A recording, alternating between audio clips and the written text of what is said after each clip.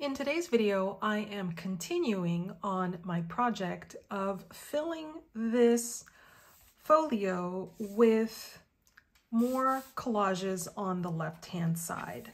Today, I'm going to be looking at envelopes, particularly vintage envelopes, ones that I can take apart or use portions of in my collages. In addition to envelopes, I will also be again looking at illustrations of furniture, French furniture that I can use, and then just using other vintage papers to kind of round out the collage.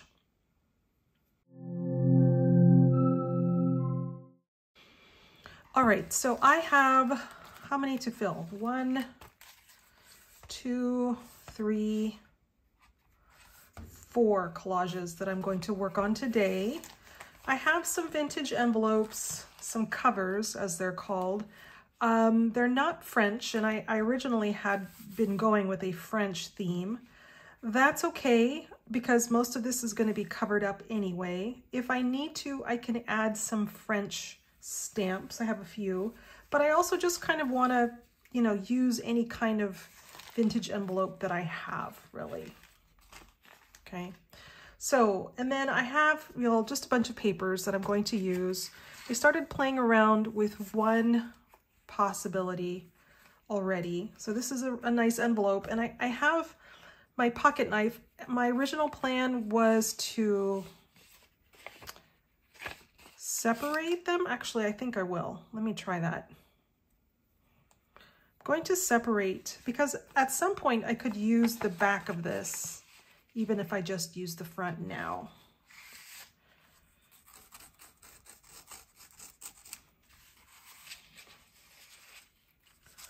I was thinking that I was not going to separate them because the paper is so thin, but um, I really do want to use both sides.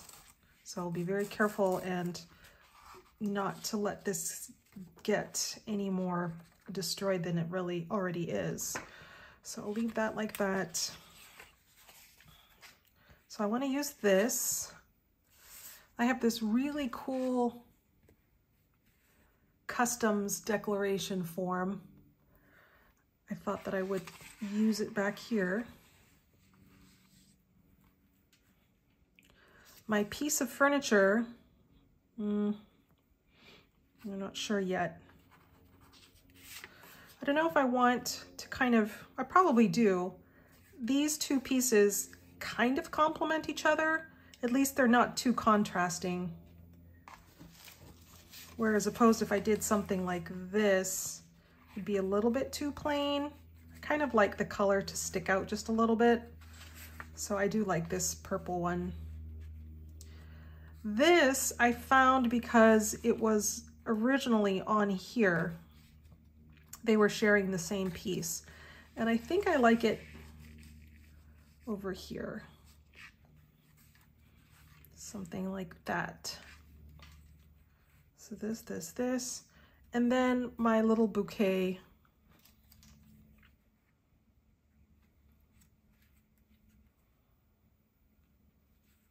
Maybe bring this down. So I'm just gonna play around with the placement. Is that where I want that? Do I want it up here? Uh, I think it's too crowded in there down here. Just like that maybe. I want it to touch just a little bit. Possibly like that. That looks good. So that's the kind of idea, that's the kind of thing that I'm looking to do in these collages today, right? Pretty simple. So let me get this glued down just so that in case I bump it, I don't lose track. Okay, here's the collage. It's clearly a letter and yet there's no stamp. So I do want to try and find a stamp. These are the French stamps I have. Um, I'm not sure if I'm going to find something in here, but I guess I can try. That's actually kind of interesting. It's too long though, too big.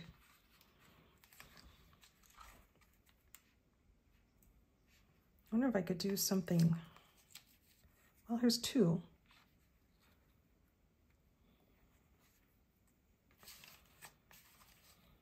I don't think I want green. I have this yellow.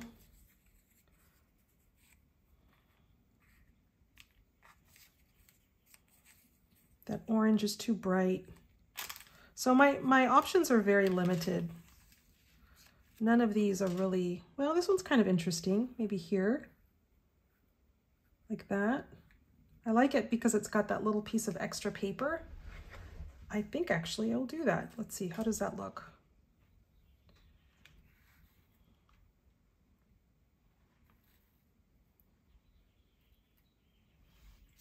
How about like that? But it, there's this hole right here.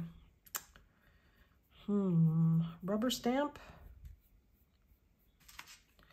I have no stamps on this side, so I think I will put one over here. And it will probably be this blue one. I kind of like that there's already a little bit of blue here. So that's, that's good. Okay, so let me glue this down first.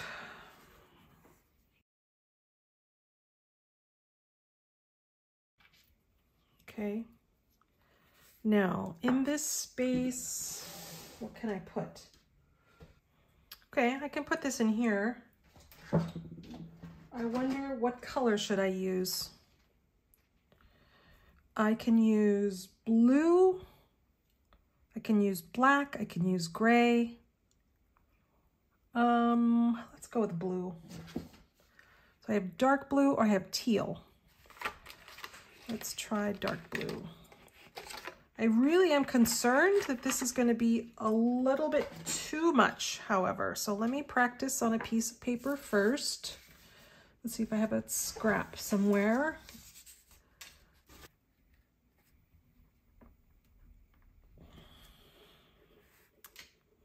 Is that too much?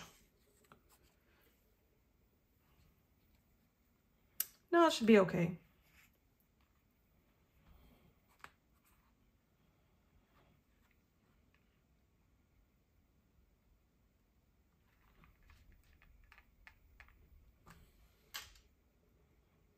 Looks good. I like it. So this one is complete. So now I've got three more to go.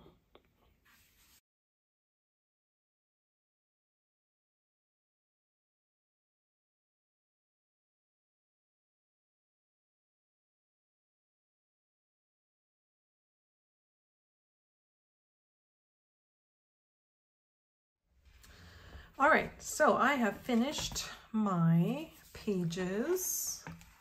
Here they are. So I added an extra stamp onto down here. And um, yeah, that's that one.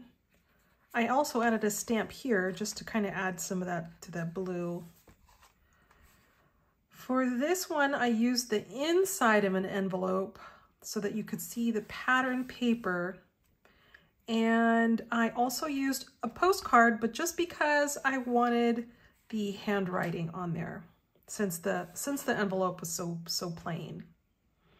I added another stamp here and this color kind of matches with the color in here. For this one, it, it is quite busy the way it was. So then I had a piece of map and then this calling card on the top. Um, it's in a, it's a, it's a French street name, so that worked out well. And then this blue chair kind of matches, or I think it does match actually. It's from the same set. So that's kind of good that that goes together.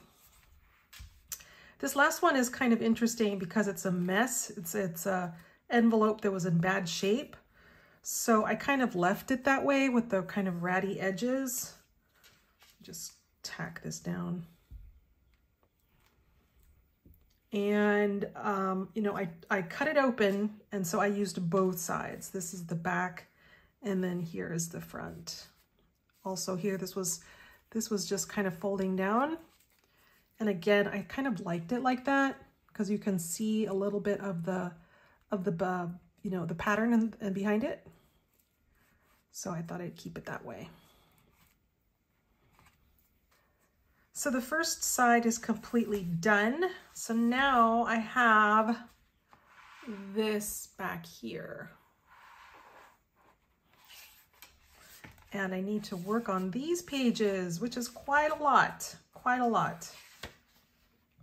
I'll see if I can incorporate this in at some point. It's just a bunch of postage stamps. But so far, so good. So I hope you've been enjoying tagging along at this little book. If I continue on to the additional pages, I will record and show you how it goes. Thanks so much for watching and I will see you the next time.